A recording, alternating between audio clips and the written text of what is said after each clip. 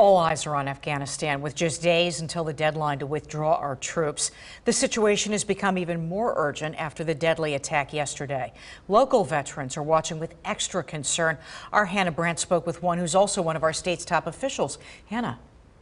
Alicia, just hours ago, I spoke with State Treasurer Stacy Garrity, who served three tours in Iraq. She was in charge of overseeing a prison in the country, which gives her a unique perspective on what's happening now in Afghanistan. Of course, the situation in Afghanistan took a turn from dangerous to deadly this week, with 13 American service members and dozens of Afghan people killed in a terrorist attack. The treasurer tells me she's devastated for those troops killed and their families, and she's angry about what she calls a failure of leadership on the part of the president. Nobody expected us to stay in Afghanistan forever, but you don't just cut and run on a 20 year commitment. We shouldn't leave not one American behind, not even one. We shouldn't leave any of our Afghans that worked so hard mm -hmm. with our military behind.